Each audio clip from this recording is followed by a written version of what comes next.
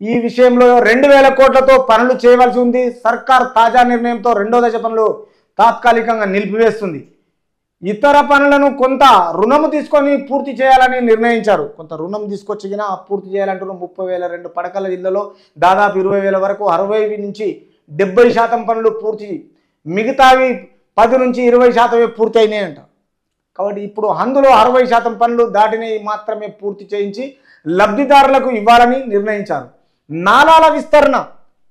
కొత్త నాలాల తవ్వకం ప్రాజెక్టులో కొత్త పనులను కూడా ఇప్పటికిప్పుడే మొదలు పెట్టాలని అధికారులు చెప్తున్నారు. ఎందుకంటే రేపు వర్షాకాలం స్టార్ట్ అయితే నానా రకాల ఇబ్బందులు ప్రజలకు కాబట్టి ఇప్పుడే మొదలు పెట్టేసి ఆ పనులు అతి తొందరలోనే క్లోజ్ చేయాలా.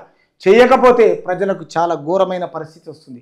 ఎందుకంటే ఎక్కడ వాహనాలు అక్కడ అవుతాయి ఇళ్ళలకు వాటర్ వచ్చేస్తాయి ఉన్న రేషన్ అంతా తడిచిపోతుంది. ప్రజలకు మేలు జరగనప్పుడు మన ప్రభుత్వాలు ఉండేమి లేకపోతేంది? తర్వాత కీలకమైన ప్రాజెక్టులు నిర్మాణం కొన్ని ఆగిపోయే అవకాశం ఉంది. ప్రస్తుతం నగర వ్యాప్తంగా మురికివాడల శుద్ధి ప్రాజెక్టు పూర్తి చేయబోతున్నారు. దయచేసి మురికివాడలను చాలా సుందరంగా తయారు చేసేసి ఈ ప్రాజెక్టులకు అనుగుణంగా ప్రజలకు రోజు వాకింగ్ తిరిగేటట్టు తర్వాత చాలా బ్రహ్మాండంగా హైదరాబాద్కు ఒక రూపకల్పన చేయాలని రాష్ట్ర ముఖ్యమంత్రికి విన్నపం. తర్వాత దీని విషయంలో మూడు వేల కోట్ల అవసరమని అధికారులు ప్రభుత్వానికి నివేదించారు. దీంతో ఇప్పట్లో మొదలయ్యే అవకాశం లేదని చెప్తున్నారు. హెచ్ఎండే దాదాపు ఐదు వేల కోట్లతో విధి వివిధ ప్రాజెక్టులు చేపట్టింది. ప్రభుత్వంలో భూములు అమ్మగా వచ్చిన సమస్త ఖజానాలో ఉన్నాయి కూడా ప్రభుత్వ ఖజానాలో జమ చేసిరు హ్మ్. ఉన్నాయన్ని ఖజానాలో జమ చేసినని ఉన్న భూములు అమ్మేసారు ఆ హెచ్ఎండి దరిద్రుడు ఆడెవడైతుండో జలమండలి శివబాలకృష్ణ కోట్ల రూపాయలు దండుకున్నాడు. ఆయన పేరు మీద ఈరోజు చరాస్తులేంది స్థిరాస్తులేంది వాడికి జైలుకు పోయి ఇవాళ తెలంగాణ రాష్ట్ర సొమ్ములని దండుకొని నాశనం పట్టించిపోయాడు దొంగ. ఈ బీఆర్ఎస్ ప్రభుత్వం ఎవరిని పట్టించుకోలే. ఎవడు తిన్నది వాడే తిన్నాడు. ఎవడు చేసింది వాడే చేసిండు. ఏంటంటే పైకి మాత్రము మంది సొమ్ము మంగళవారం మన సొమ్ము సోమవారం.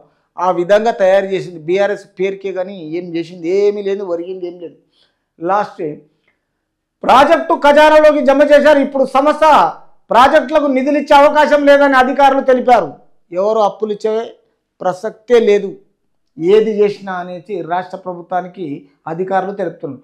వచ్చే నాలుగు నెలల్లో మెట్రో విస్తరణ మూసి సుందరణ సుందరీకరణ ప్రాజెక్టుపై మాత్రం సర్కార్ దృష్టి సాధించనుంది.